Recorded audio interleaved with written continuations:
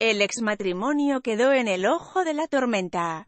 La dolorosa separación de la infanta Cristina e Iñaki Urdangarín marcó un punto de inflexión en el Palacio de Zarzuela y generó una fuerte repercusión en todos los integrantes de la familia, principalmente en la infanta Elena, quien se transformó en la mano derecha de su hermana.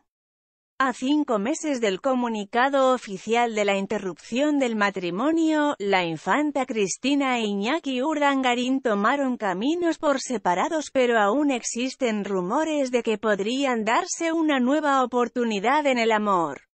En las últimas horas se generaron múltiples Recientemente, los portales de noticias aseguraron que el exduque podría haber terminado su noviazgo con Ainhoa Armentia, la mujer que conquistó su corazón y le devolvió la ilusión, tras la separación de la madre de sus cuatro hijos. Por este motivo, Iñaki pasa cada vez más días en Barcelona, junto a sus fieles amigos. En estos últimos días, Cristina e Iñaki se reencontraron para celebrar el decimoséptimo cumpleaños de su hija menor, Irene Urdangarín, quien quedó profundamente afectada por el divorcio de sus padres.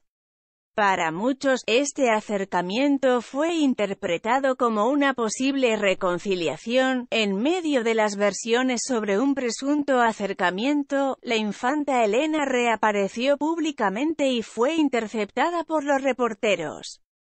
Frente a las cámaras de Europa Press, la hermana de doña Cristina evitó pronunciarse al respecto e ignoró a los medios de comunicación. Al llegar a su domicilio, Elena se dejó ver hablando por teléfono y mantuvo el silencio, a pesar de la insistencia de los periodistas en la puerta de su vivienda familiar.